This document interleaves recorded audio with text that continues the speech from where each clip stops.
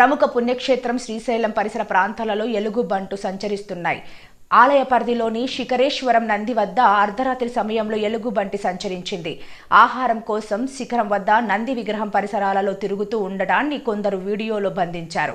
సుమారుగా గంట సేపు శిఖరం పరిసరాలు సంచరిస్తున్నా రాత్రి సమయం కావడంతో భక్తులు ఎవరూ లేకపోవడంతో కొందరు టార్చ్ లైట్ సహాయంతో ఎలుగుబంటిని వెంటాడడంతో అక్కడి నుంచి సమీపంలోకి వెళ్ళిపోయింది